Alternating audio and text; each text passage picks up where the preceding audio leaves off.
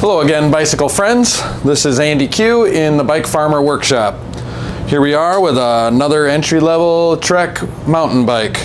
26 inch linear pull brakes. Um, it's old school, but these make great all-arounder bikes for kids. This one has very flat tires. It's pretty filthy, but looks to be complete and things are rolling and things are moving and shaking. So I think it's gonna be okay. We just gotta go through it. I'm gonna narrate this one, so I'll tell you what I'm doing and what I'm thinking about while I'm doing it. I hope you enjoy it. Thanks. I think we'll start this one out just by taking a little walk around and looking at a few things. You can see how dirty things are back here. This one's been ridden in the dirt a little bit. I don't mind that at all. Um, I'm not too worried about this little bit of rust on the freewheel. Tires are super flat. You know, the first thing I'm gonna do is put some air in them and hopefully it doesn't leak out. You can see the saddle. I checked these, uh, the, the saddle, the position in the saddle. See how it's kind of all the way back. That makes me think that this bolt might be a little loose. So I'll loosen that up, slide the saddle forward and tighten it back down. Overall, the saddle looks to be in okay condition. It's a little bent or something here in the front. I don't know, I think it's a keeper. Get this bracket, this lock bracket off of there. The bottle cage actually fits pretty well. Um, there's some paint that is rubbed off here on the logos. I'm going to try to get that off with some Goo Gone. Um, I checked the, short, uh, the the shock, the shork. They should call them shorks. I checked that on uh, on the ground before I put it up in the stand, and it's still working. So we'll leave that on there. You can see the brake pads are still in decent shape. I just don't even think I'm going to need to replace anything. Um, these shifters, I felt those before, and they're kind of working. I don't know, it doesn't want to focus. Yeah, so we're gonna squirt some uh, TriFlow up in there, I think. Um, maybe some one step. I'm kind of running low on one step. I should order some. All right, I'm gonna put you back on the tripod. So often, my very first step on any bike is just to put air in the tires. Um, I do that because it gives things a chance to lose air. So when I do my final check, I'll squeeze them and see if they've lost any air. Oh, the kitties are fighting in the other room. Okay, I'm seeing a little bit of a, a hop. It's not quite seated. You know, when the bikes sit like this and lose air, the tires unseat themselves. So I only fill them up halfway. I didn't fill it up all the way. Just give it some shape and let things decide where they want to live and help them along if you have to. There, just put a good amount of air in there. I'm, I'm pulling back and forth on the wheel here and I can feel that rear hub is just a little loose. So that's something to take a look at once we get it off the bike, which will be the next step, I'm sure. Get some air in this front one quick. Yeah, about halfway, and I can see there's a spot, so we'll go through and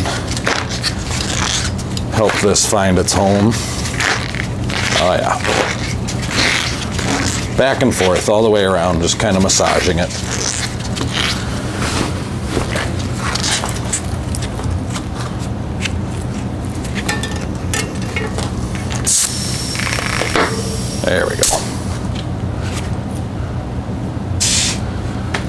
Pretty close to perfect.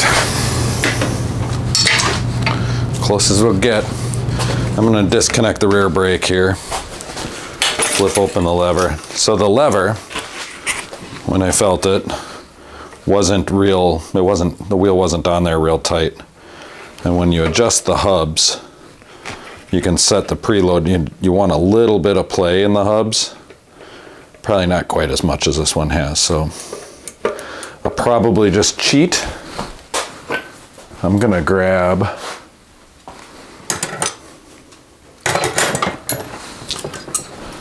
I'm gonna grab an adjustable wrench and a 17 and I'll bring you over to the bench here so you can see what I'm doing.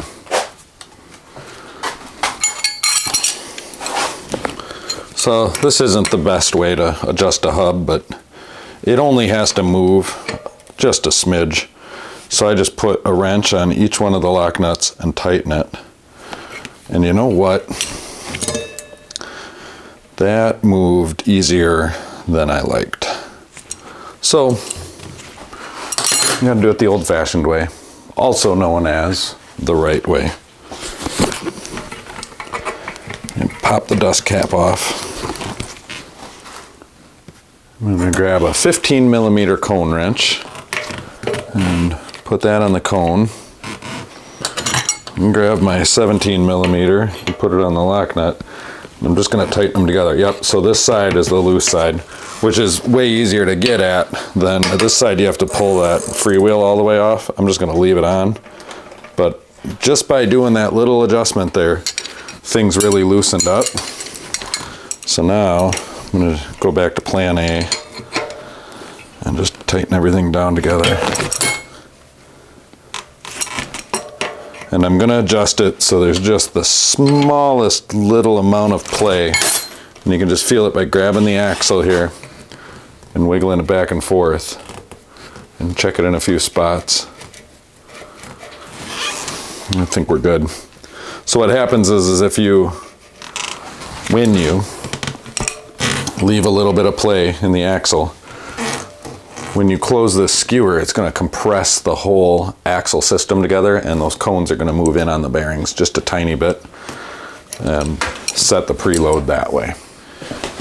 Just taking this front wheel off, off camera right now, just because it's not that interesting. And we'll go through our initial cleaning sequence. I'm gonna, this one you saw how dusty and kind of filthy it was back here. I'm gonna start with just some good old fashioned Dawn power wash. One thing you can do to make it easier to clean is if you push in the rear derailleur, it's a good way to release the tension on that rear derailleur cable. And you can do the same by pulling on the front one and releasing the front derailleur cable and the brake cable's already loose and you get all your cables off. And now you have access to the whole frame. Makes cleaning a little bit easier. I'm going to take this bracket off now.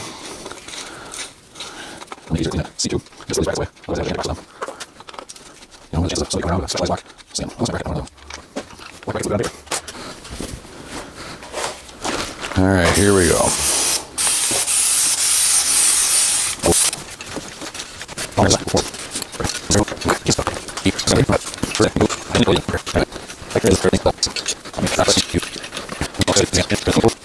Very nice. Now that all the cables are loose everywhere, this housing's filthy. Now's a good time to lube your cables since everything's loose and accessible. I said that funny. Accessible.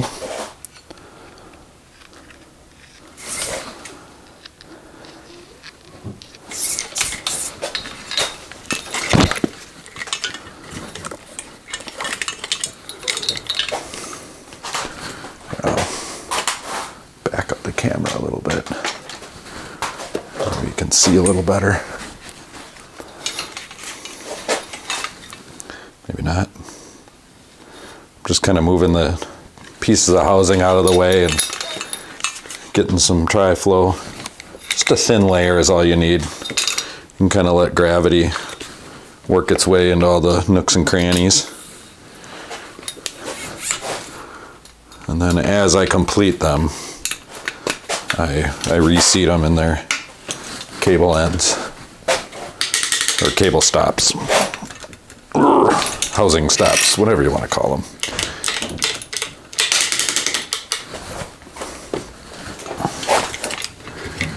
Call them what you will.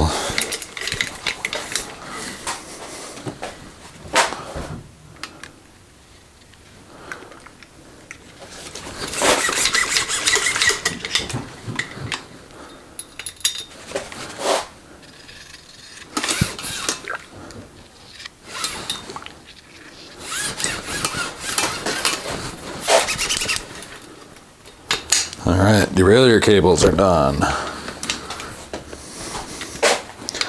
Shift cables.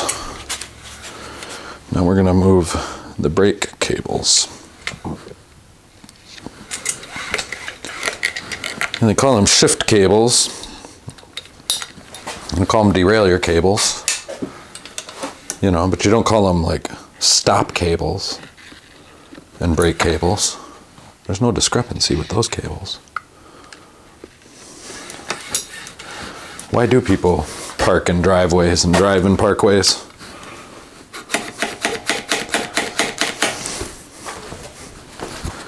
All right.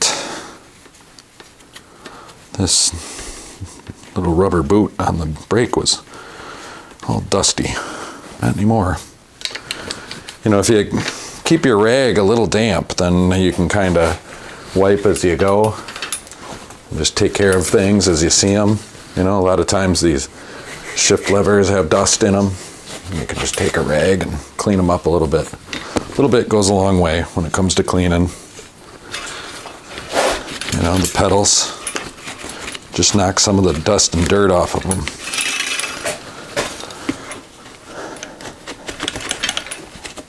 You don't have to do a full blow spray down, polishing or anything, but just make them look somewhat decent.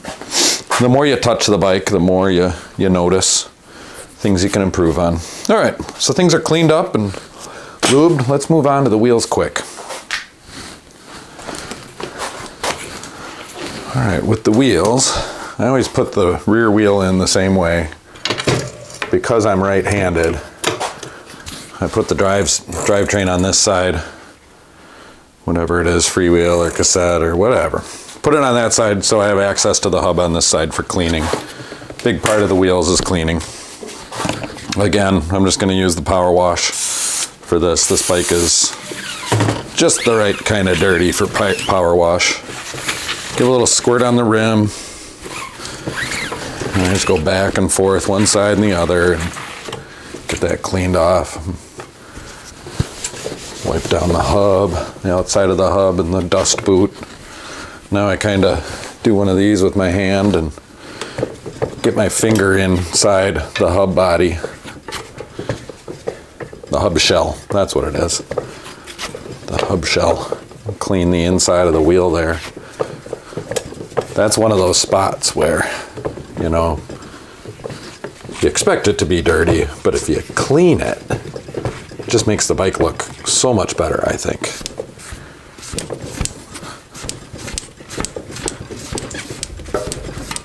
You know, you don't want dusty filth and stuff up on your handlebars, you know, anywhere in the cockpit that you see while you're riding it, for sure. But even the stuff that, you know, the nether regions and the the hub shells, and that kind of thing. You wouldn't normally think of. You know, I'm wiping down the spokes. Just take the extra minute and do it. That way, whoever ends up riding this bike can feel good about it. And why else would you ever ride a bike? I only ride a bike because it makes me feel good. I guess some people, you know, choose to make it a competition. And that can be fun, I suppose, and feel good. Some people commute by bike which I guess is better than driving most of the time. I mean, depending on the weather, for me. Not much of a fan of the cold. I have commuted in the winter, like when I lived in a city. I live more in a town, and if I want to, if I do any kind of going places, it's out of town, and generally use a car. All right, now we're gonna true the wheel.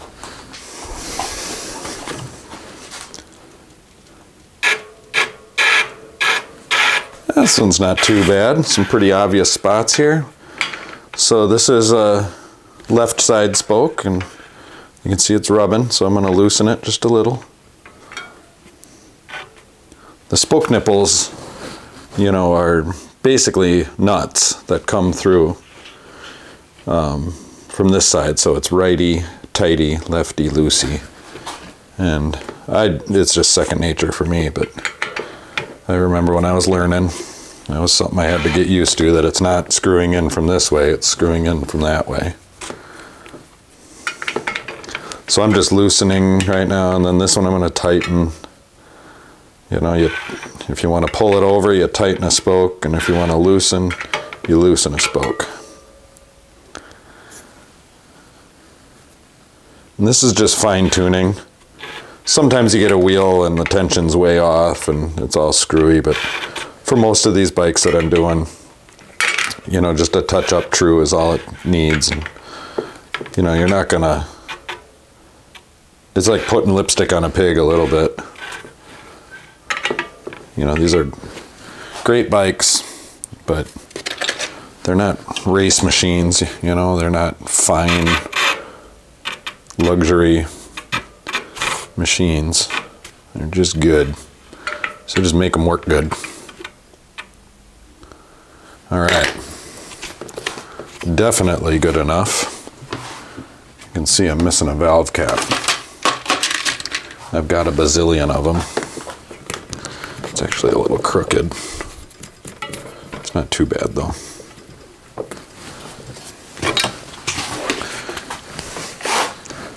pull the rear one off and put the front one on.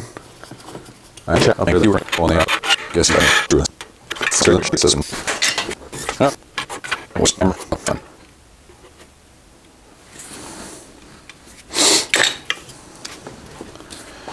All right, I'm gonna clean this wheel off camera.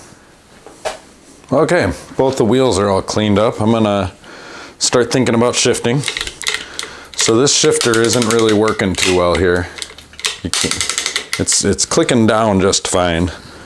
I'm not exactly sure about this, but my basic understanding, let me get some light on this here.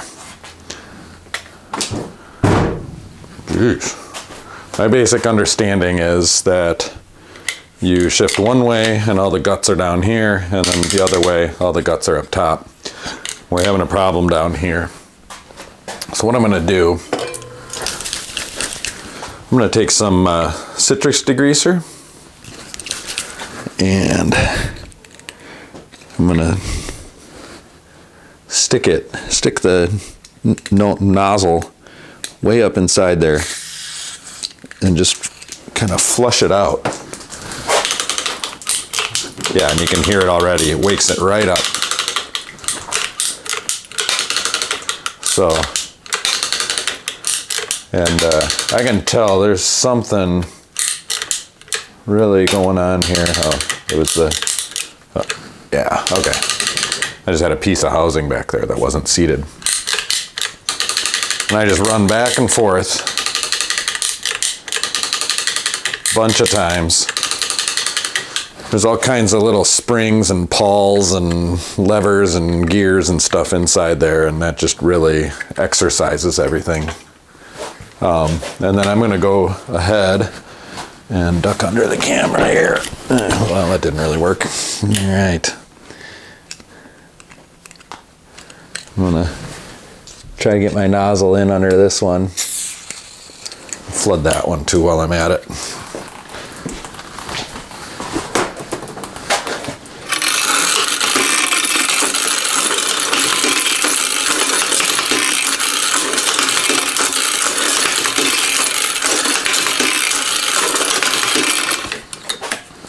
And in case you're wondering, I just have cardboard on the floor. Kind of soaks all that stuff up. It's a concrete floor underneath. I don't worry too much about it. Every so often I throw it away and put new cardboard down.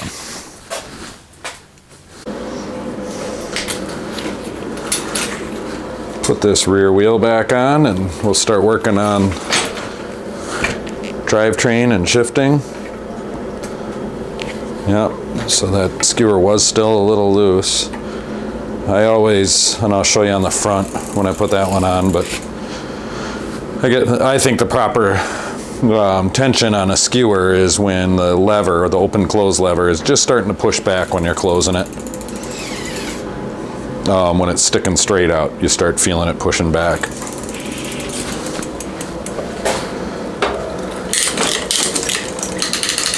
Everything seems to be moving just fine. There's a little bit of a hiccup in there. I don't know what that's about. If it's a bent chain. But everything's really dry. Um, I'm just gonna hook the brake up for now without adjusting it. Hopefully I don't need to adjust it too much.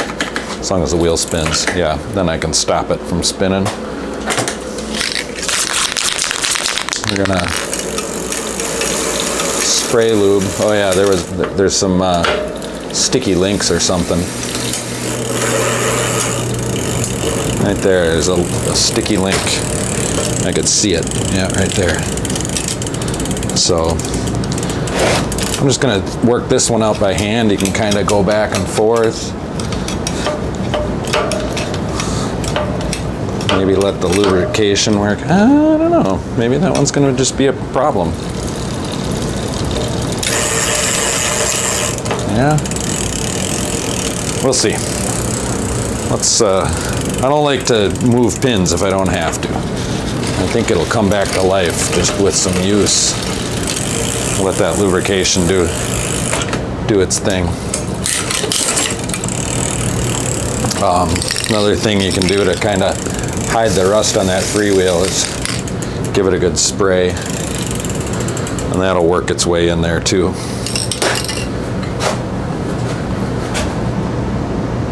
All right, let's zoom in best we can here on the drivetrain for the adjustment. The adjustment portion of the program. So now I'm in little and little. Yeah, and that sticky link is still a problem. That's gonna drive me crazy. It's right there. Can you see it? I'm going to find my little, my favorite little chain tool. This chain tool, I'm going to use this outer one. I'm just going to put the chain in there and then just push the pin over, I mean, a tiny, tiny bit. So it's, it's finger tight right now. Move it that much. I mean, ever so slightly wasn't enough.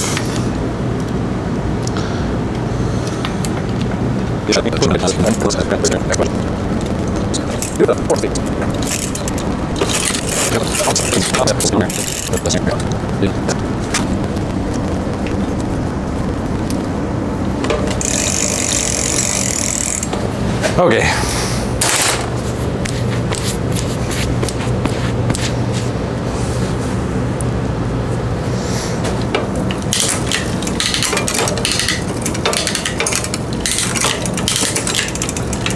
Going through one by one and just watching the chain to see how well it shifts. And this one seems to be just exactly perfect.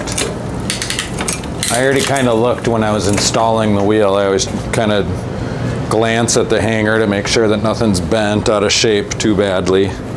This one looks to be the original hanger. I don't think we've ever had any problems. There's no marks on the outside of the derailleur here to show any signs of trauma.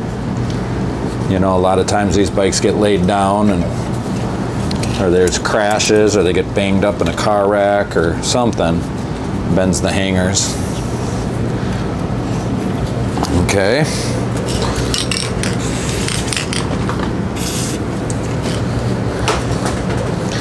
Take a closer look at the front derailleur. I'm in the big one, so big and big. It's rubbing a little bit, which is to be expected. So here we are in middle and big. So middle chainring and big cog. And it's rubbing slightly, except at one spot, which tells me that I've got a bent chainring. Yep. So that looks like I can just do manually. Oh yeah. It's just off slightly. So what I'm doing, I rest my forehead. Wonder if I can get any of this on camera. My, my bent chainring technique.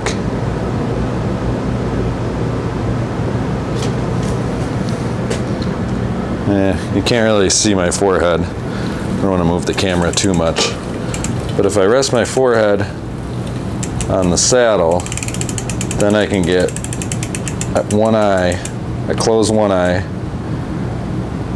and I just move the chainring around and I use the front derailleur as a guide. And then I kind of find the spots that are not perfectly aligned. And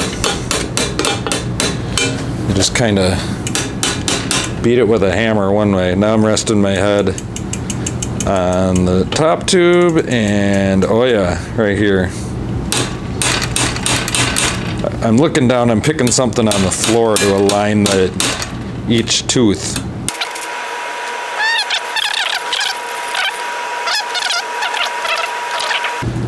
That's pretty good. So that was just looking at the ring. Then sometimes if you put the chain on it, yeah, it's way straighter. But still, it seems like the inside of the front derailleur cage, the inside cage, is rubbing if I'm in middle and big. So that tells me that the cable is just slightly tight. So up here on the shift lever is a little barrel adjuster and I'm turning it in to loosen the cable just a smidge. Now it hesitated a little bit to shift down. That is a limit screw adjustment and I'm just gonna turn it out. I mean that was like an eighth of a turn maybe. And that'll help it, yeah shifting way better. Hopefully it doesn't drop the chain. I try to like shift fast or pedaling fast. Just really try to stress the system, push the limits, because you never know the real world condition. Now I'm checking in the little cog in the middle ring for any kind of rub on this outer cage, the inside of the outer cage. And it looks to be good. There's actually a little room, little wiggle room there. So everything looks to be pretty adjusted. And based on what I saw on this bike, it's been ridden. Um, I would not be at all surprised to find out that this bike has been tuned up once. Um, it came from a good era. And, uh, you know, this bike's in good shape. Got a lot of cable pull here. I think I can start by tightening things a little bit. Not much, just a little, just a smidge. Good brake tension so far. It's a little bit, yeah, that feels good. Tighten it down good. Try to hide the cable, they don't always like to hide. Some do better than others. I mean, you can really get it out of the way if you absolutely have to. Sorry about my reach here. So this pad isn't aligned very well. Right pad. So I'm just gonna loosen it, kind of move it up and center things. Look underneath. Make sure nothing's rubbing or gonna rub in the future.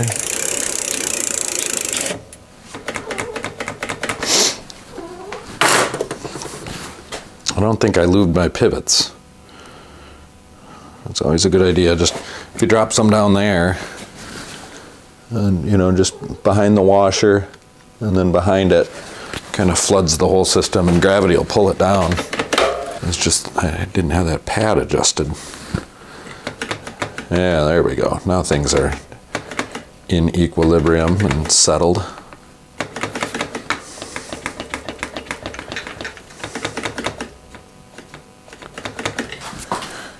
A little off this side. I don't know, this is probably where experience comes in. I just kind of have a feel for it, but it's trial and error.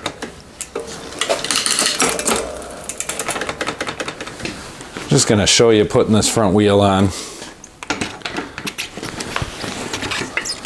So right now the lever's closed. It's not letting me slide it into the dropouts. I don't think I really touched this. Yeah. So you get it up in the dropouts. Using I'm using my knee to kind of push up on it. Well, it's in the stand. You know, generally if you're doing this on the ground, you can use the ground. Hey, hey, check it out. Oh, moonlight. We got a kitty. Kitty. Okay. So now I'm um, holding the lever and I'm turning the right side. It's just like a big bolt with a nut on the end. And then this is a cam actuated quick release lever. And this is what I was talking about. See how it's just starting to fight back when it's sticking straight out? I think that's the perfect amount of adjustment. I don't like the angle of that. I'm going to take a little bit of tension off. And then with this one, usually I like them going straight back. A lot of people have them going straight up, never forward because they can flip open. Uh, I think that's pretty good. But if it's resting on the ground, then it's pushing straight up into the fork ends, which is, you know, you want it seated all the way up into the fork ends. First thing we need to do to this front brake is lube this cable. So I use gravity to do that. I'm just going a couple drops at a time, holding everything straight. It's funny, my daughter just got home from school and I think she hears me talking and she's like, hello? She's looking for me. Maybe she'll come running down here. All right. Part of bike farming is, you know, you have to live on the farm. So, all right, we're gonna lube our pivots.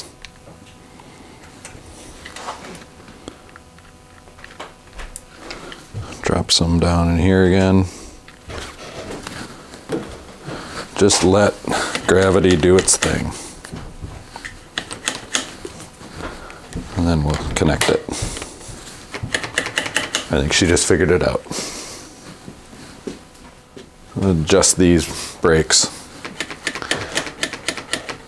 So again, it's pulling more cable than I like.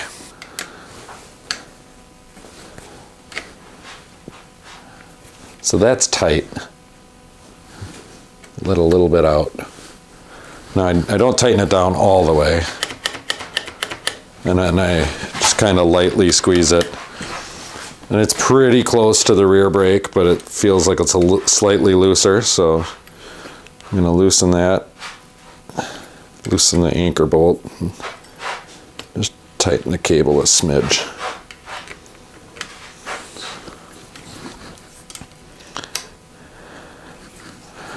Hear the kitties scratching in the box in the background.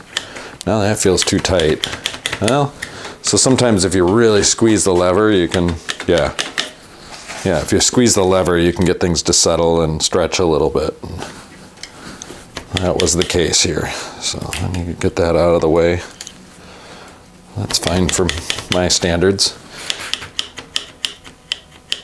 Man, that's pulling pretty evenly. I mean, that's totally passable. No rubbing. Check the brakes for alignment. You can kind of check them, make sure they're tight. Oop, wrong lever. Here we go. I love it. Absolutely love it. So as promised, I'm gonna find some goof off. So this stuff really works well when you have paint that's rubbed off onto your bike frames. And you can see there's some yellow paint, you know, it was leaned up against a post at some point. Locked to something probably. I just put a little bit on the rag there and just kind of rub it away let the chemicals do their thing.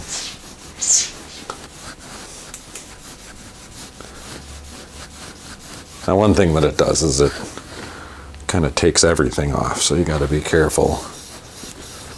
It's going to have kind of a matte finish when you're done, which you can put back. I'm looking over on the other side now. To see if it was leaned up on this side. Everything looks way cleaner on this side. So,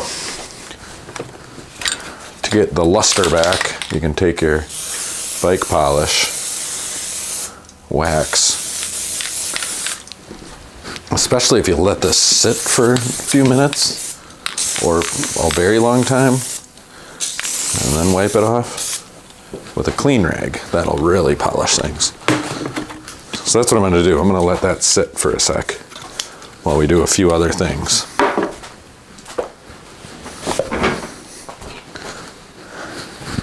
Did a little of this before, but I'm just gonna put a drop of T9 and, or Triflow I mean. T9 works too. I like Triflow better. Put a drop in each one of the bolt heads, screw heads. Anything where you think water might collect.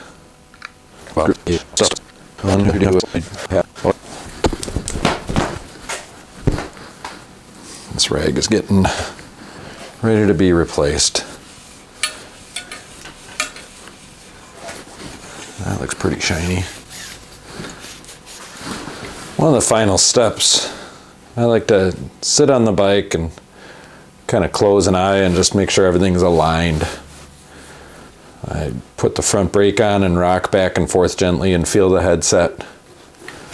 And kind of take the handlebars and go side to side. Everything feels pretty good there, so I'm just going to leave well enough alone. These handlebars seem to be angled back just a smidge. I don't really know how to explain what I like about certain handle, handlebars and their angles. I just go by feel and get these where I want them. And actually, if I adjust the handlebars, that puts the levers at the angle I like. That I can say, I think it's 30 degrees is what I prefer. That's how I set them all up. And, you know, these handlebars look to be slightly askew. So I'm just going to loosen the stem bolts over here, the clamping bolts. I'm not going to touch the head cap because that'll adjust the headset. And I'm just going to give it a tap. That's it. That is all it took. And I think that bike is done.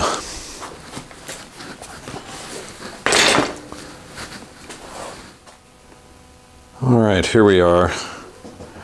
I'm gonna kind of give you a tour like we did before. You can see how much cleaner the wheels are. Everything's good and shiny. Get in there and you can see the luster of the hub. You know, that freewheel doesn't even look rusty anymore. No more mud. You know, the brakes are nice and snappy. Like that. Still got a little bit of filth going under here. Whoop, there we go. You I mean, it's a used bike. You can see all the paint is off the logo there. Got that ugly lock bracket off. The nether regions are pretty clean. Got that chain issue worked out.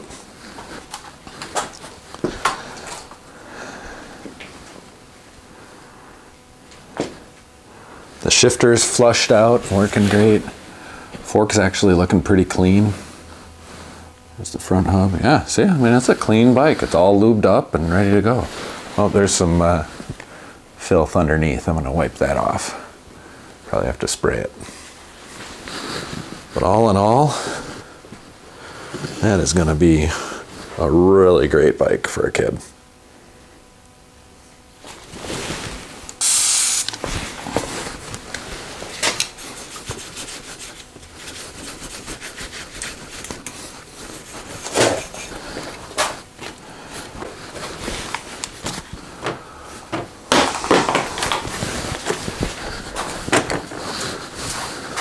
Folks, that does it for this one. thanks for tuning in. Let me know in the comments. Um, you know, I've been doing a couple others where I don't do any narration. I just do close-ups of stuff. Um, let me know how you like this one. You know, do you like it when I'm talking and rambling on and kind of explaining, or do you like the just watching me work? Um, give me a thumbs up and a comment. Don't forget to subscribe. Thank you.